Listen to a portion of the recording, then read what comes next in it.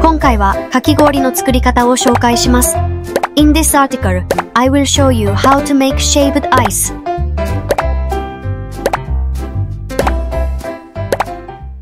それでは一緒に作っていきましょう。Let's make it together.